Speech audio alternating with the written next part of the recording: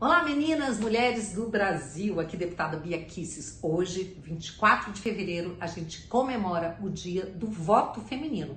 Foi em 1932, precisamente no dia 24 de fevereiro, que a mulher passou a ter direito ao voto.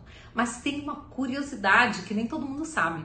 Na verdade, a primeira vez que uma mulher votou foi na cidade de Mossoró, no Rio Grande do Norte, em 1927 foi a Celina Viana Guimarães, que votou graças a uma lei potiguar que dizia que em questão de voto não haveria diferença entre os sexos.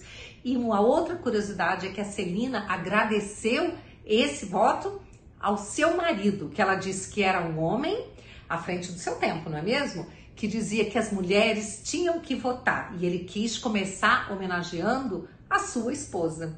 Então, gente, muito bacana isso. Parabéns a todas as mulheres, né, que podemos votar e podemos ser votadas. Queremos mais mulheres na política e queremos homens como o marido da Celina que, que colaborem com as mulheres.